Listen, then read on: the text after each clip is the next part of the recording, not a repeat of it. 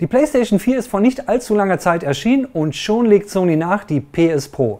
Sie kostet 100 Euro mehr als das Standardmodell, hat dafür aber deutlich mehr Power, die sich allerdings hauptsächlich für Nutzer lohnt, die einen 4K-Fernseher zu Hause haben.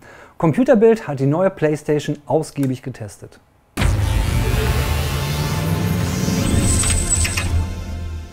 Die erste PlayStation mit 4K-Fähigkeit. Mit bis zu 3840 x 2160 Bildpunkten kann die PS4 Pro Spiele darstellen. Das ist das Vierfache der bisherigen Auflösung und das bedeutet mehr Details und flüssigere Bewegungen, denn auch die Bildrate hat sich auf 60 Frames pro Sekunde deutlich gesteigert. Möglich macht das ein doppelt so schneller Grafikchip, der 4,2 Teraflops schafft. Und noch eine Neuerung soll das Spielerlebnis intensiver und beeindruckender machen. Sony nennt es HDR High Dynamic Range. HDR verspricht kontrastreichere Bilder, doch auch hier ist der richtige Fernseher die Voraussetzung. Er muss den Standard am entsprechenden HDMI-Eingang unterstützen und mit einem HDMI 2.0a-Kabel mit der PS4 Pro verbunden sein. Nur dieses Kabel kann die hohen Datenmengen für HDR übertragen. Ein weiterer wichtiger Punkt, die Spiele müssen vom Hersteller per Patch auf 4K und HDR vorbereitet werden. Nicht alle PS4-Spiele laufen in 4K und HDR, aber einige, darunter Leckerbissen wie Uncharted 4, Rise of the Tomb Raider und Call of Duty Infinite Warfare. Auch Videos von Netflix oder YouTube zeigt die PS4 in 4K-Auflösung an, Blu-rays dagegen nicht, da das Laufwerk noch nicht 4K-fähig ist. Die höhere Auflösung der Box ist nicht nur beim Zocken sichtbar, auch beim Streamen, etwa über Twitch.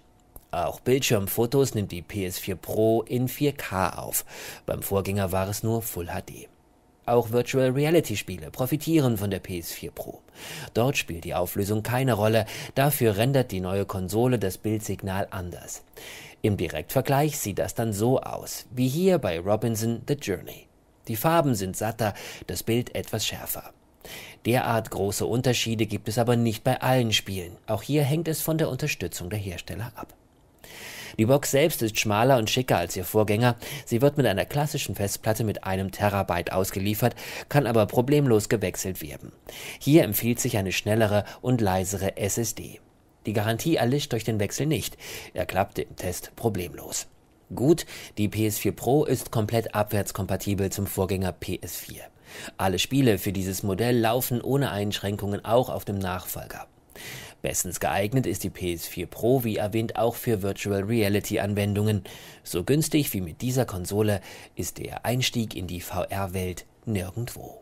Die Sache ist einfach. Besitzen Sie noch keine PlayStation 4, dafür aber einen 4K-Fernseher, ist die neue Pro ein Pflichtkauf. Für knapp 400 Euro bekommen Sie eine flotte Konsole, die aktuell höchste Spielauflösung bietet.